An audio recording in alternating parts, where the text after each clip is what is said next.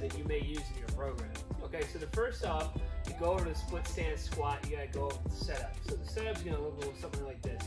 As if you were just, uh, you just stepped in for a lunge, but now you're in place. So you got one foot forward and lined up pretty evenly. We're like we're no no wider than hip width. Okay, uh, I'm in a split squat position where my foot's pointing forward and my back leg, my toes are actually bending. Now, a big mistake I see a lot of people make is they'll actually bring the heel down to the floor between reps as if to rest. You want to try to stay in this split squat position the whole time. Now, you don't want to be too narrow, you don't want to be too long. You want it so when you come down, it's a straight line down from your uh, the top of your hips to your heel. So when I come down, it's about a straight line down. So I'm gonna get, it, I'm gonna get a good hip flexor stretch. I'm not too wide out where I'm really pulling on that hip flexor and I'm become I'm turning this split squat into all hamstrings and glutes. This is gonna give me a good combo of quad hamstring and glute as I'm coming up and I'm just gonna come straight up. Now you don't wanna fully lock out the knee like this. You're gonna come up and allow it to be soft. Okay, so these are just a few techniques, uh, things I want you to focus on, regardless of how you load that up.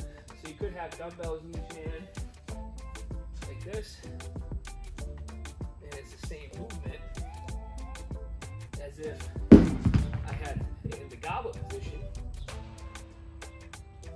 Same movement. We're just changing up how we load it. It's the same thing as if we were doing the front squat position. Same thing if we're doing the back squat position, bar's on your back and you're really trying to pull it down. You're setting up in your split squat position and just going straight up and straight down. Right? So regardless of how what how you're gonna load it, the movement itself will be the same.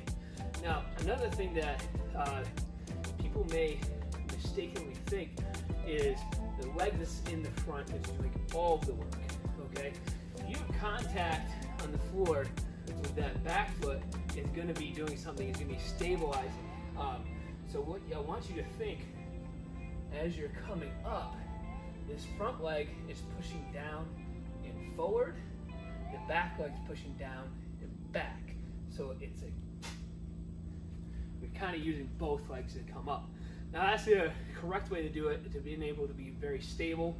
And if you decide to load it up uh, a little bit more, that's the way that you want to think about doing the movement as opposed to loading up 100% on this front leg because what's probably going to happen is you become very quad dominant on your movement.